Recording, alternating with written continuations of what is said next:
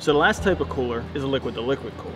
Now, the way that this works is it's a series of stacked plates with fins on the inside of them. So it's very much the same as this one here, but instead of using air on the outside of it, it uses a coolant and either an oil or transmission fluid. These are typically seen bolted onto the side of your engine for an oil cooler or bolted onto the side of your transmission for a transmission cooler.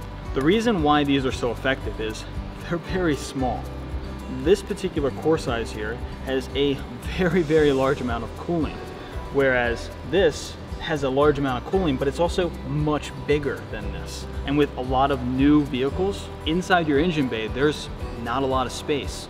So what you're gonna, what the OEs do is they put one of these on here. One of the downsides to this is that it does use your engine coolant in order to cool the oil or the transmission fluid. But the flip side of that is if you live in an area where it gets extremely cold, it works in a reverse way. It works in a way to heat that fluid to get it up to its optimal operating temperature faster so that way you don't destroy your engine because your oil is really really thick or your transmission fluid isn't flowing easily throughout the transmission.